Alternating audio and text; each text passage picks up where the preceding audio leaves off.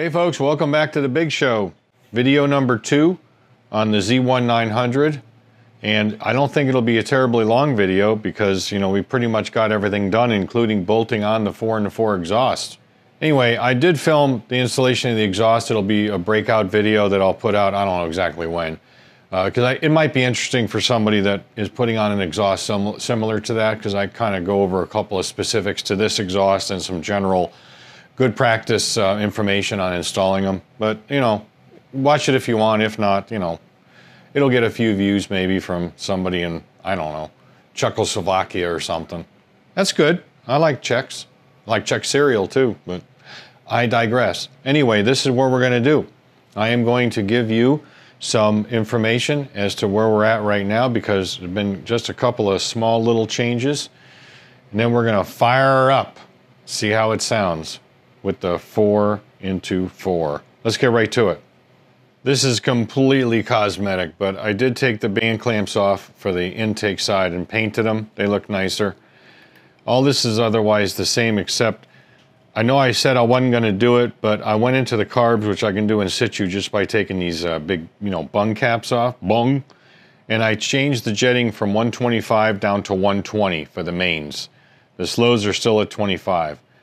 And I got to be honest with you, I just had a feeling about it you know, more than a feeling really. So hopefully that's going to work. But again, I'm pretty sure the 25s and the slows are going to be good. Remember, 20 is stock.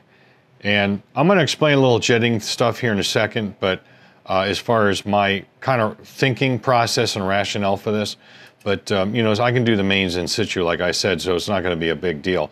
Remember, 113 is stock, which is, I think, really lean for mains, and 20 for the slows. So maybe 120 and 25 will be the, the magic numbers. So I'm gonna hook you up to fuel and hook the battery back up and I'll set you up kind of toward the back, I guess. We'll see how she runs. We're about set, but I wanted to mention a viewer um, on the last video asked why the one of the throttle cables was dancing around here when I actuated the throttle. That's because this is a throttle push. I'm only using the throttle pull right now, just for simplicity's sake. So if I gotta pull the carbs, it's just one less thing I gotta do. But once we uh, dial this in or make sure it's dialed in, and of course I'm going to hook all these up proper. So I just wanted to explain that real quick. All right, so uh, where are we? All right, everything's hooked up. Let me fuel her up. Fill her up, Jack Benny. Uh, fill her up. Battery is hooked up. I think we're going to have to give her some enricher, see what we got.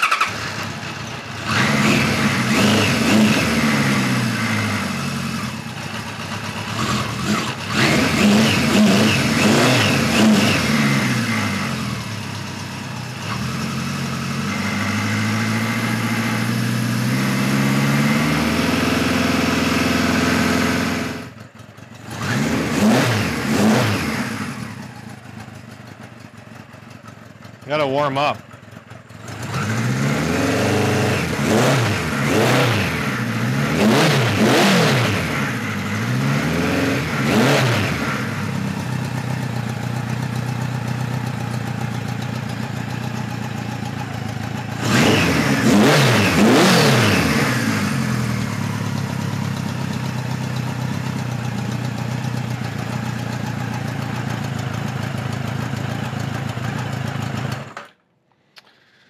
Don't know if I like that. Um, I think I think I might change those over to 122 and a halfs.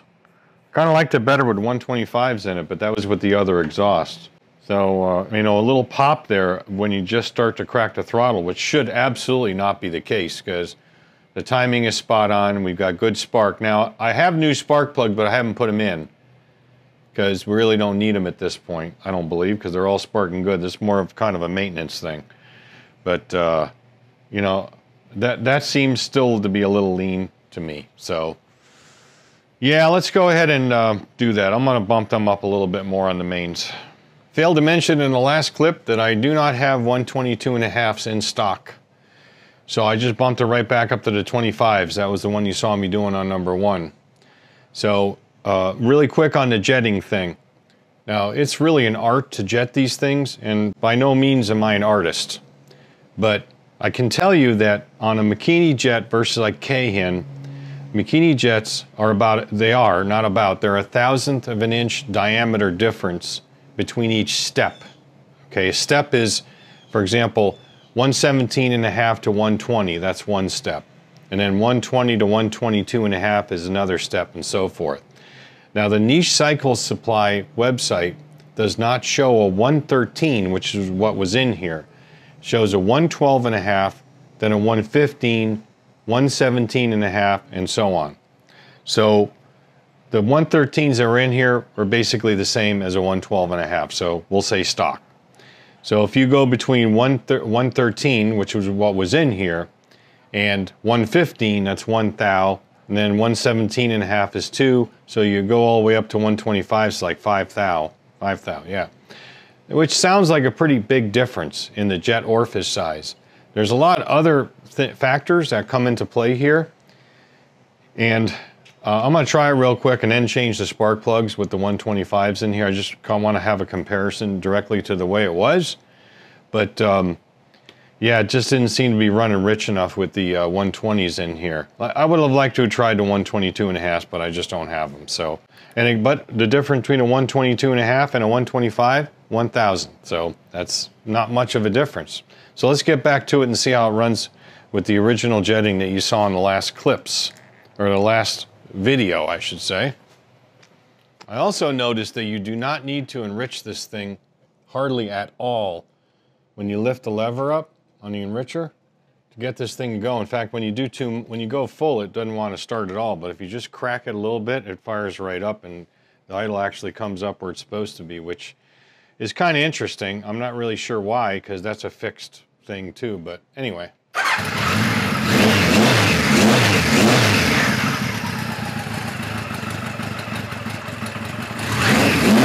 Oh, I gotta fill the carbs.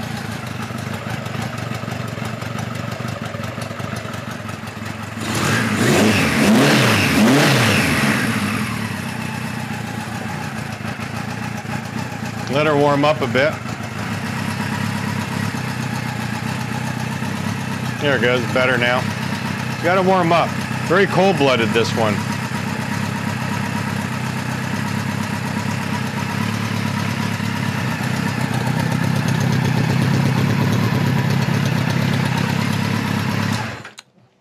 All right, I think I hear just a little bit of a miss. I don't know if there's such a thing as a partial miss, but so let's go ahead and change them plugs to the new ones now that we got another baseline in the same configuration was before.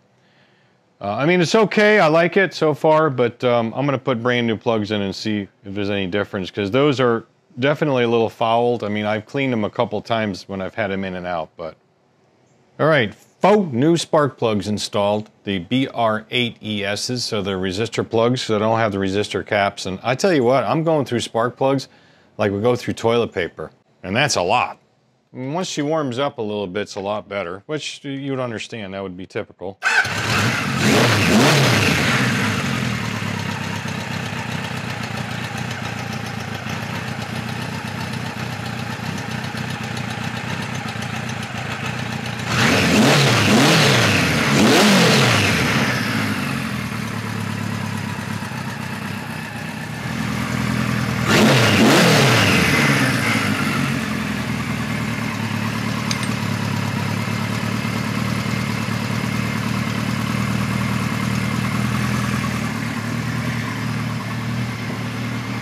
Yeah, still hear it a little bit.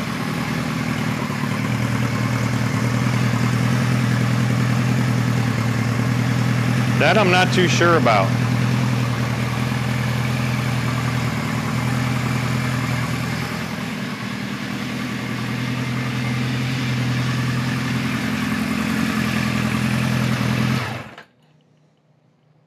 Sounds like it's coming from that side. So it'd be one or two. I don't know. Let me uh, let me think on this a bit and maybe double check the air screws. Uh, I'm not sure if I'm going to change them because right now they're at one and five eighths. I believe I said in the last video. Maybe back them off an eighth of a turn and go down to uh, make sure it's at one and a half because the the more you open these, technically the leaner the mixture gets because you're letting more air into a fixed fuel rate as opposed to a fuel screw on the front here, which is opposite, generally speaking. But you know, you got to take in consideration that even at an idle, you are going to get a little bit of influence uh, on the fuel air mixture from the main circuit past the needle. It doesn't seal it off all the way. And so you have to take that consideration when you're tuning these things, um, which is why when you put a bigger main jet in, it can, it can possibly at least somewhat influence your um, idle mixture. So let me, um, let me play with this a little bit more. Okay, I'm at dead nuts, one and a half turns, which is the factory spec. Let's take a look at this. Ichabod, knock it off.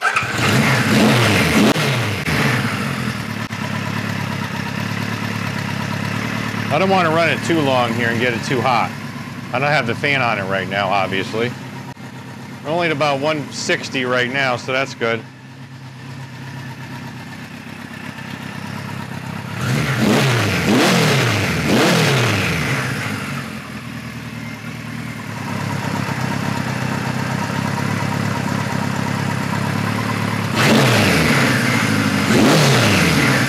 Nice and clean.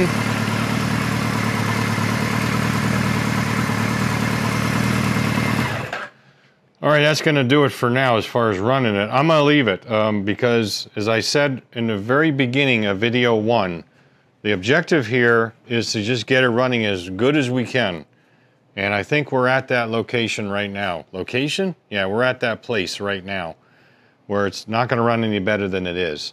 I'm going to tell you right now that based on the way the, some of the exhaust valves look with that white powdery look on them, this thing is probably uh, burning oil down the, uh, valve stem seals, um, I'm guessing, because I don't think it's rings the way it's running. And I did do a pressure, a uh, kind of a leak down test on it with my leak down tester. Ichabod, stop. There he is over there giving us trouble. Um, and I couldn't really detect anything coming out either past the valves or uh, inside the crankcase or blowing out the exhaust or what have you, or the intake. So that leads me to believe that you probably got good valve sealing because again, the um, base compression according to the manual is 121 PSI. That's on page 82 of the original manual, the, the factory service manual. 121 pounds per square inch is standard. 85 pounds per square inch is minimum. That's the service limit. And then no more than 14 pounds per square inch difference, which is more than 10%. I always go off 10%, which would be 12, but close enough, right? So we're at 118 and 120. 118, 123, and 120 on number four. So we're right there. So, you know, the compression technically is right per the service manual. And that would mean that the valves are probably sealing okay, as I said before. But with that white, um, you know, powdery looking thing in there, that's definitely oil. So, you know, whitish yellow, tannish. And number three, you could see it on a couple other valves as well. Um, I, I, I, could see it on the borescope when I used the side cam, but, um, you know, not in every cylinder. But at any rate, they're probably all burning a little oil from that leak down because I have started this up cold a couple times and it's just gone little puff, which would indicate that, you know, it's little oil's leaking down into that exhaust chamber. So there you go. I mean, what else are we going to be able to do to improve this? I mean, if it was mine, I would pull the head and I, I would leave the jug because that seems to be okay and it's a half mil over. So I'd pull the head and I'd do a shotgun on the head in-house here and uh, do all do my normal stuff like I did on the police bike, which I don't even know it was right, but I did it anyway. But I doubt I would change the valve guides on this. Um, if I had to, I'd probably send it out for that. But if they're within spec, I would just slam it back together with new valve stem seals and, uh, you know, clean the valves up, clean the seats up, lap them in and, and down the road. But uh, this thing is, um, that's not part of this job.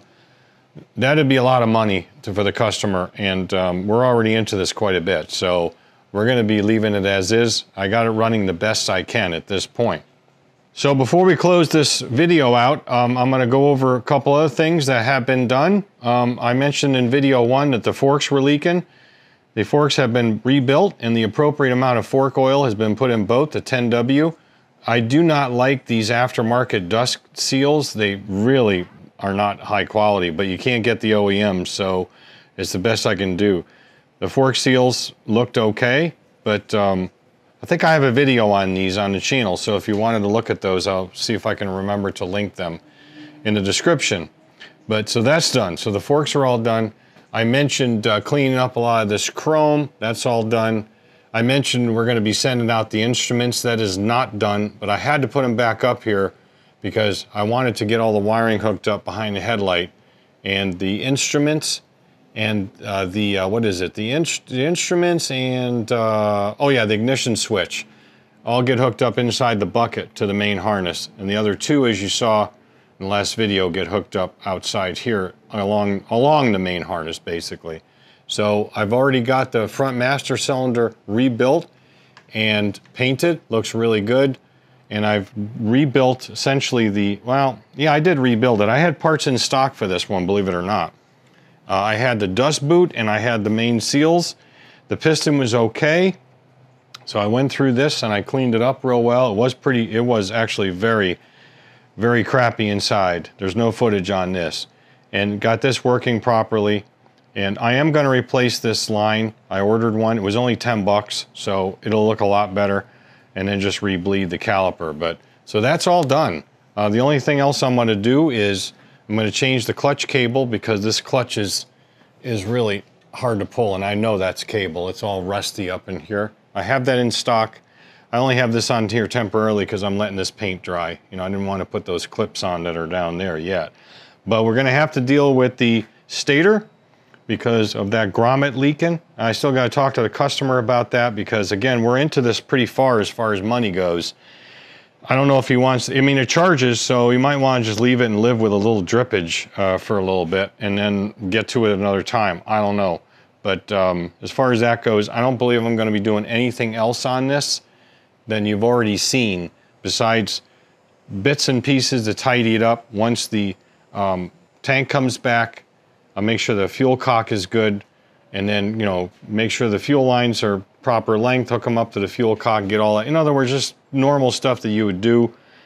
And, uh, you know, check bolt torques and put the tail section back on, yada yada. So we'll get all, and get all this, the tool tray and all that crap put back in as well. So put some oil in this um, thing for the chain. I don't know if that little pump down there is working, but um, if I got to pull the stator, we're going to be pulling the side cover. So, you know, I'll check it then. So I don't know, but that's where we're at right now. I think I got you all caught up now, at least. Electric, electrically, electronically, electronically, is that a word? Um, everything works, the turn signals and brake lights and so forth, all work just fine. I've already changed oil and filter as you know, and uh, the carb work as you saw. You might notice that there is a different fender on this bike than there was before. The old fender is right down in there. You can see it sitting there. And I'm gonna bring that fender out and show you here what happened and why that one's there and the differences. It appears that we uh, corrected a, an originality issue by doing this, but what happened was I had this fender off when I was doing the front brake because I had, and the forks and so forth, because I had to have all that taken apart. And I dropped something off of my tool shelf behind me here where I keep my power tools, and it fell down and hit the, hit the uh, fender and dented it. But if you take a look at these two fenders, that's, that's a different fender. So when this, I ordered this one is for a 73, 74, 75 Z1. The Z1, Z1A, Z1B. So that is the correct fender, and I verified that by looking at some photos of the uh, of this model. Especially the 73 one is what I looked at. And I'm like, well, the one that was on there matches up to a KZ 900, not a Z1 900. So we have got the proper fender on this now, as far as I can tell. I had to eat that because I did the damage, so customer's not going to pay for that. It's about 200 bucks for that fender, aftermarket fender, shipped. So it is what it is, but if I do the damage, I'm going to fix it. So that's kind of interesting in case you saw that um, as we were going along in the video. I kind of forgot to mention it before. Well, it looks like that's going to be about it, folks, considering um, I still need to get the tank back from the uh, paint guy or have my customer pick it up. Paint guy that did the magic supposedly. And um, I need to rebuild the uh, petcock or the fuel cock. You said cock twice. And we got a bunch of other little stuff to do on this before we get it back together all the way to show you. I'd really like to get this video up. Today's Friday the 27th. I'm gonna do my best to do that. and then you'll get a look at at least where we're at so far. But I'm pretty sure I got you all caught up, except for one thing. Was easy. Wow, that's a pretty cool effect. I would leave you guys hanging like that. You know that. It's Friday the 27th at like 3:20 in the afternoon. Normally I only work till about noon on a Friday. So I kind of busted my butt today and I went and picked up all the body work and the tank and so forth from the paint guy and did all the work and worked past my normal time because I wanted to show you guys the finished product and get this video up in the channel. So I worked extra hours on overtime. Do I pay myself overtime? I guess I do. Just for you. So let's go ahead and take a walk around and we'll see what we got.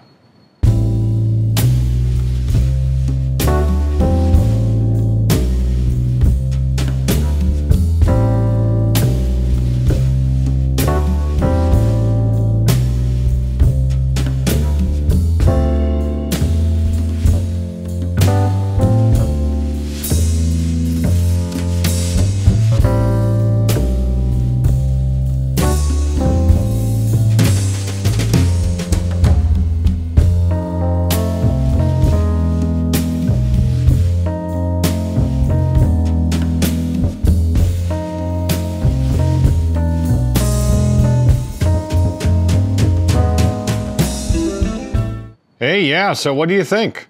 Ichabod and I took a little ride this morning and went down to the paint place, the body shop that he was having all this paint work done. And I think I mentioned in the first video he's going to have the paint guy do some magic. And I talked to the paint guy about that when I went down there. Super nice guy. And um, I tell you what, I'm going to put his information up um, uh, in the video here. I'll put like a snapshot of his business card. Super nice guy. His name is Mike. And anyway, he um, ended up doing a lot of painting on it. He pretty much almost repainted the whole thing. But he did layover paint on these stripes where it was damaged. I guess Kawasaki must have painted them on. Otherwise, they'd be decals. It's kind of hard to paint and do sanding and stuff as a prep work. So I, I don't. I didn't ask him that much detail, but he did a phenomenal job it looks really well. I got about a gallon of fuel in it right now. Fire it up for you real quick in a minute, running off the uh, tank, but you've already heard it run, so it's not too big of a deal. And you remember all that damage? Get off of there, Dust. You remember all that damage that was on the right side here? Let's see if I can overlay a shot of that in while I'm talking from the original video, video one. And he did a really nice job on that too. Couldn't get it all out, but I, I really, I told him, I said I would have been happy if it was mine that he left a patina in and just, uh, you know, not necessarily a scratches. Those are pretty big gouges over here, but he left some. So it's pretty cool how this came out. You know, it really, really came out well. So these are the original Kawasaki emblems that came off. I pulled these off before my customer took the tank. He took these off because these went with the side covers and then put them back on. Real nice job on this as well. And so I, I was real happy when he when he showed me that. I went, holy cow, Actually, I didn't say holy cow, I said holy shit. Um, that's amazing work that he did. So, real nice job. And since the inside of this tank was so good, I mean, I can see my customer spending that kind of money on it because I'm sure it wasn't cheap doing this paint work. But yeah, pretty cool. Now, I don't, I don't remember if I mentioned this. I know I don't have the drains on the little nipples. You said nipple on these carbs. I know I don't have them because I ordered some hose for this purpose I ordered some hose that I know at some one point in time at least is the right size, like three mil hose that's black. And they sent me three mil hose that's gray. So it looks like crap. So I, I don't have that hose. I'm gonna have to reorder it and make sure it's black. You know, this, this inlet on number one and two carb is too close to the outlet to just bend a hose around unless you have a molded hose. So I don't know if you can see this, but I did my magic with the 90 degree copper fitting to make that so it doesn't pinch. And you can't see it, and maybe that's what Kawasaki did in the first place. I don't know. But maybe they used a molded hose. I don't know. I already explained the situation with the front fender. This is the correct fender, as I said. And I looked up that other fender. That's from a KZ900B. So we had an A4 or KZ900A. That's that's not even for that that fender down there. That's for a KZ900B. Maybe it's the same fender. I don't know. So now we have the correct fender on here.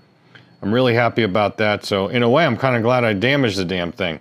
But uh, still, it had to, had to eat 200 bucks. But hey, you know what? That's the cost of doing business, folks. All the electric is done, of course. Everything works.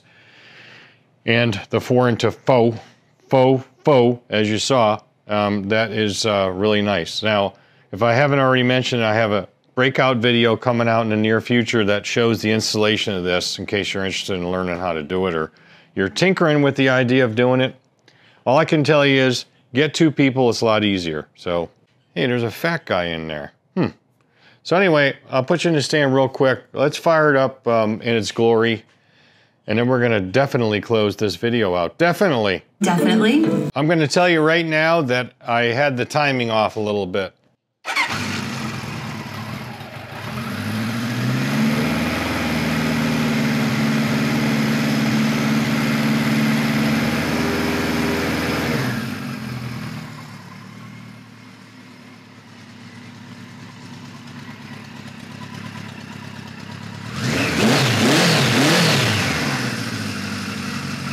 I got a little bit of enricher still.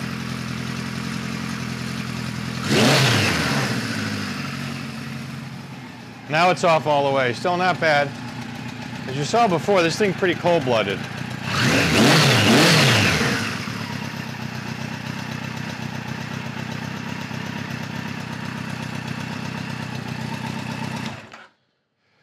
Well, I'll tell you folks, I'm real tickled with the way this thing came out. How many is that now? Fondling this thing. I better stop. People will start talking. This is definitely um, something that um, I thought I was going to have a little bit more trouble with, but I'm going to be honest with you. I haven't worked with points in a long, long time. At least, you know, except occasionally when something comes in, it's got breaker points. I was kind of like, how the hell these things work again? You know, that sort of thing. I mean, I haven't really worked on them extensively since the 80s, like the early 80s. I had a KZ650 brand new, a 1979, I believe, that had points in it. But the next bike I bought after that was an 83 Seca 900 off the showroom floor of a Yamaha dealership. And that had electronic, you know, pickup ignition and everything since then has had it as well. And most of the stuff I work on, even if it's an 80s bike, has that kind of ignition also. So I'll tell you right now that, you know, I was kind of fumbling through that if you didn't figure that out from video one. But we got her done and I'm real happy the way it runs. Super happy. I mean, I think we're just gonna go ahead and leave that jetting for now.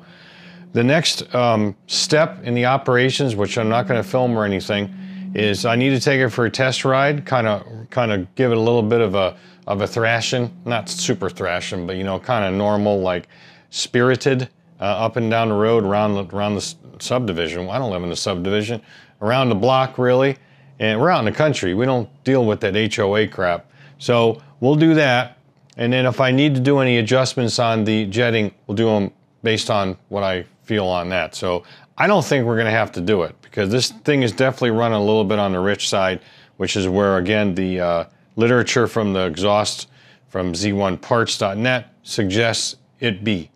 Being? Yeah. So uh, I tell you what, we're gonna go, I talked to a customer, the only, I'm not gonna film any of this stuff. This is gonna be the last video on this unless there's something really remarkable. But um, he, want, he, he talked to me this morning via text and email and said that he wants to maybe go ahead and invest in doing some hardware change. I said in the first video we weren't going to be doing all that, and frankly, I really don't want to because it's a pain in the ass sitting in front of the computer and trying to find a bolt from this source and a nut from this source because nobody has everything, you know, as far as this old hardware. But that's what he wants. I'll commit some time to it in the future. But I think we're going to be changing out some of these ultimately to kind of brighten it up. He wants to do something with the wheels. Uh, that's way out of my wheelhouse as far as spokes go. So I think he may be sending them out to Buchanan Spoke and Rim out in California. Super nice guy. I met him at a Barber Vintage Motorcycle um, event, Barber Motorsports Museum up there in Alabama, Birmingham. And uh, that was a few years ago. Uh, I forgot his first name, Kevin or something like that. Super nice guy. I suggested that place. Maybe maybe I'll be pulling the tires off, sending them out there. I don't know, but that'll be for later down the road. Right now, we just got to get everything else tightened up, like the drain hoses and maybe get some other corrections made to hardware and things like that. But yeah, I'm real happy with the way it came out.